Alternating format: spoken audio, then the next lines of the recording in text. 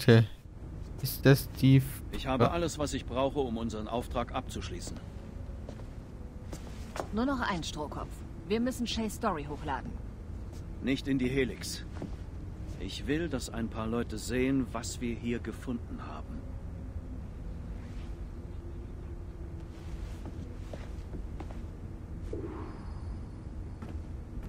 Ab ins Untergeschoss. Gut, gut.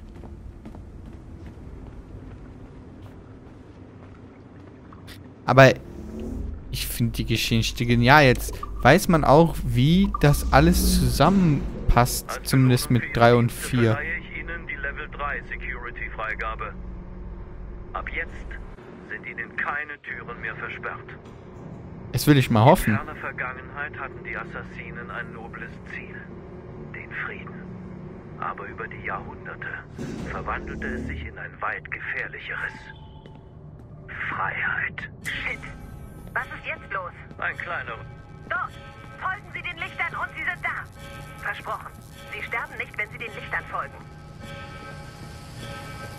Ich habe Sie doch nicht verwirrt. Folgen Sie den Lichtern!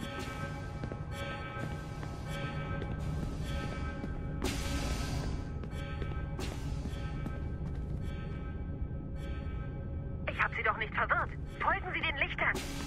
Ja, ja. Ich guck mal, was passiert, wenn ich das nicht tue. Ah, hier kann ich wahrscheinlich später was machen.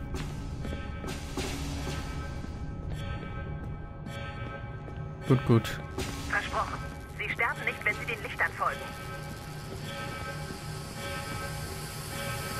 Beeilung, Strohkopf.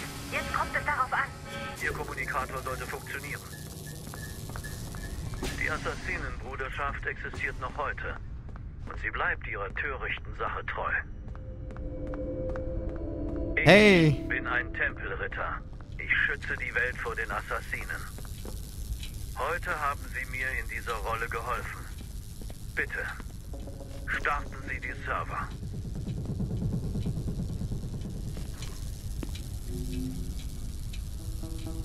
Ah. E. Das Ding kenne ich noch. Das ist irgendwie aus äh, dem letzten Teil vom Assassin's Creed 4. Auch wenn ich ihn nicht gespielt habe, kenne ich den halbwegs.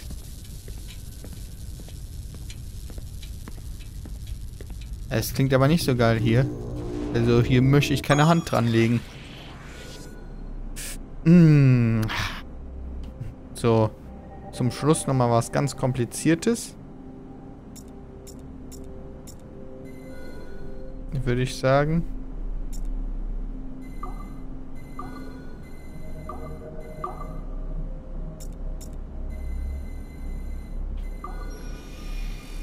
Ja.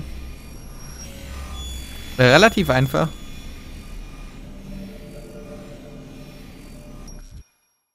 Otzo Berg, der große Star des Anime-Trainingsprogramms.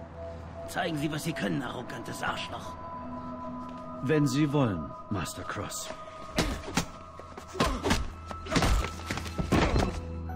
Ich glaube, mein Training ist bald vorbei. Meinen Sie nicht auch? Was ist so lustig? Ich habe mich in Ihnen getäuscht. Sie sind nicht arrogant, sondern einfach völlig verblödet. Oh, Ihr Körper, Ihr Geist, sie gehören nicht mehr Ihnen. Verstehen Sie? Alles, was Ihnen bleibt, sind Stimmen. Ich leide nicht unter Ihrem Zustand. Meine Animus-Sitzungen waren sorgfältig. Nein, nein, nein! Meine Stimmen sind Geister. Tot. Daher sagen sie immer wieder dasselbe. Wieder und wieder und wieder und wieder. Aber die in ihrem Kopf werden niemals sterben. Sie gehören jetzt ihnen. Ich bin demütiger Diener des Ordens. Ihr seid nicht mal mehr eine Person. Ihr seid ein Werkzeug. Eine Waffe. Ein Spielzeug. Wir sind hier fertig. Und in ihrer glorreichen neuen Weltordnung ist kein Platz für zerbrochene Spielzeuge wie uns.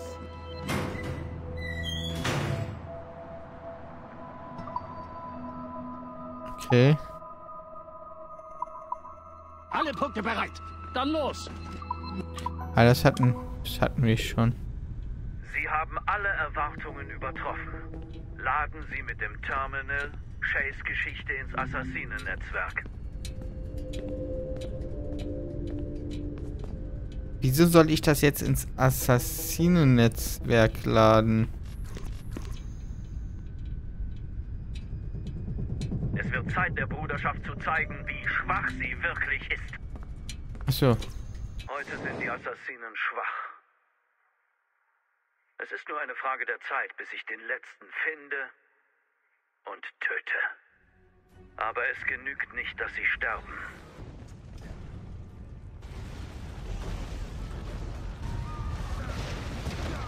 Es passierte auf Haiti, es passierte in Portugal.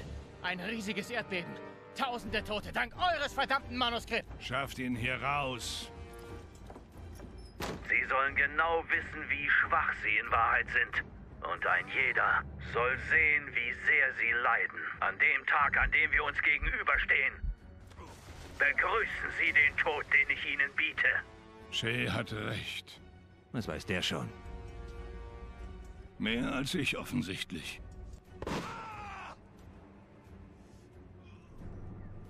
Mein Plan ist im Gang. Ich habe keine weiteren Aufgaben für Sie.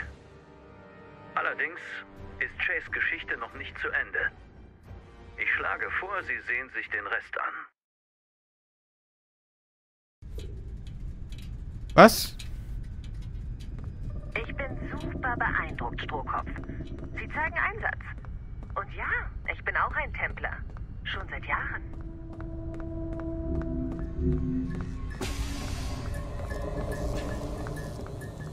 Ja, aber das wusste ich doch die ganze Zeit.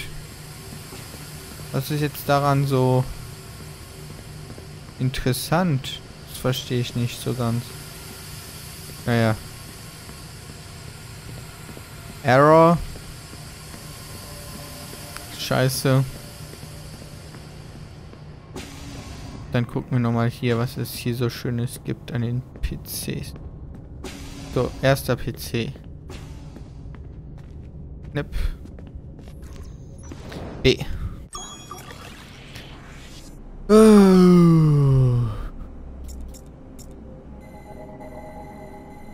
Ah, das war ein Fehler.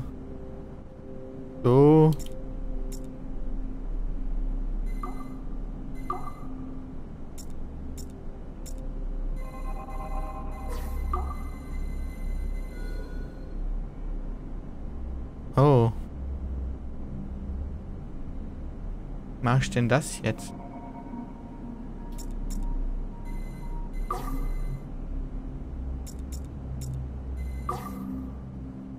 So.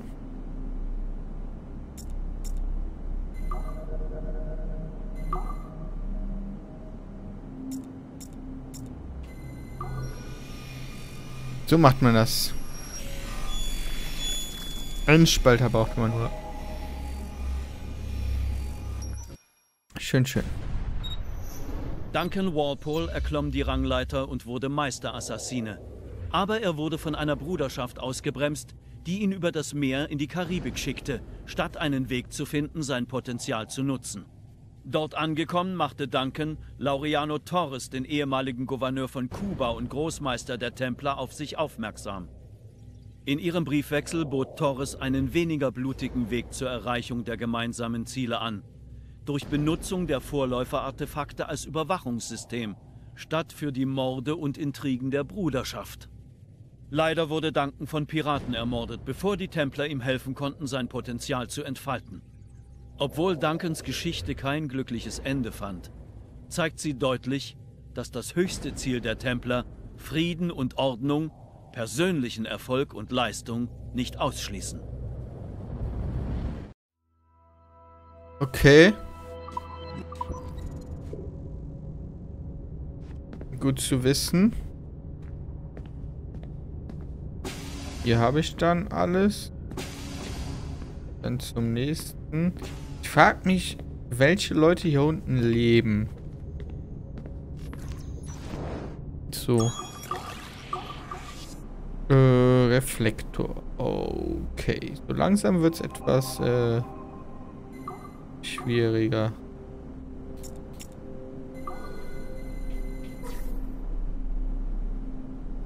So, die beiden habe ich. Den kann ich... Nein, den kann ich gar nicht drehen. Den... Hm.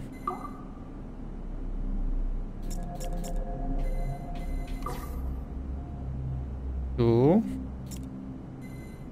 Muss ich den nur einmal rumbringen.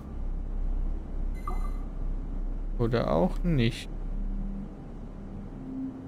Wer fehlt? Der innere fehlt noch.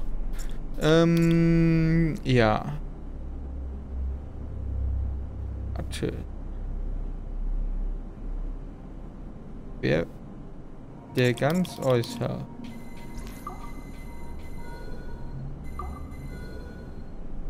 Hm. Ah. Geht doch. Jetzt werden die Rätsel halbwegs interessant. Das kann man doch schon mal sagen. Sean Hastings war Universitätsprofessor mit dem Hobby, Abstergo-Geheimnisse durchzustechen. Seine Ermordung durch Abstergo stand kurz bevor, als er von Rebecca Crane, einer Assassinen-Hackerin, gerettet wurde. Seither ist das Paar unzertrennlich und leistet den Assassinen-Einsatzkräften technische Unterstützung. Hastings und Crane haben Abstergo Entertainment Montreal Ende 2013 infiltriert und waren für den Diebstahl von Verschlusssachen verantwortlich. Es ist unklar, ob sie den Virus übertragen haben, der den Helix-Servern gerade zusetzt, oder ob sie nur die Tür für andere Hacker offen gelassen haben. Rebecca Cranes Können sollte nicht unterschätzt werden. Sie baute den Animus 2.0, eine Assassinenversion von Vidics Originalmaschine. Sie scheint auch hauptverantwortlich für die Einrichtung eines neuen, sichereren Assassinennetzwerks zu sein. Wie es scheint, sind Crane und Hastings in der Bruderschaft befördert worden. Es gibt Gerüchte, dass sie jetzt eine Art Hacker-Kollektiv namens die Eingeweihten betreiben und versuchen, sie auf die Assassinenseite zu ziehen. Ah, also Sean und Rebecca leben noch. Das ist schön. Ja, ich, wie gesagt, ich habe das Ende vom 4 nicht äh, mitbekommen. Da. Geilster Festplatten-Crash ever. Und deshalb nichts mehr da. Schade war. So. Ab nach draußen. Da waren wir schon. Das bedeutet, es geht zurück. Ein Schnipsel von Chase Daten bleibt noch zu erkunden. Ein kleiner Abstecher, aber Sie sollten es sehen.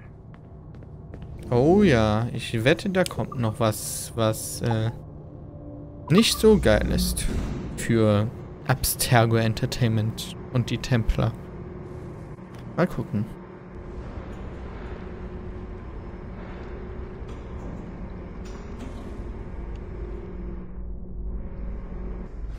Außerdem kann ich hier jetzt noch ein paar Computer durchsuchen.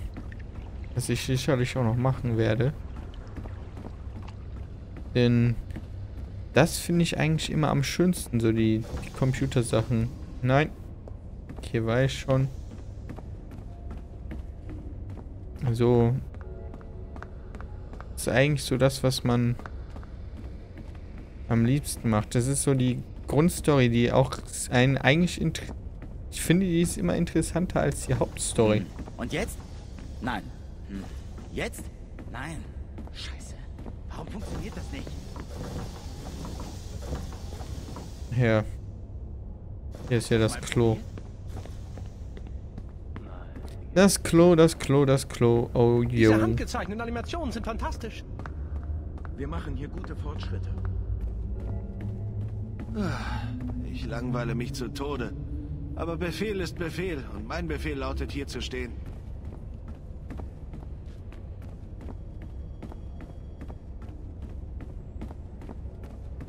Hm.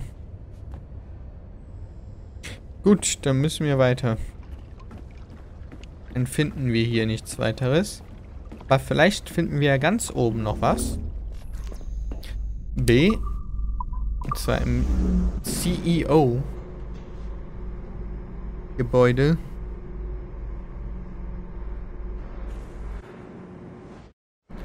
Dass er dazwischen laden muss. Okay. Hätte jetzt gedacht, dass das Ding hier als, äh, dass der Aufzug als Ladepuffer reicht, aber scheinbar ist das nicht so.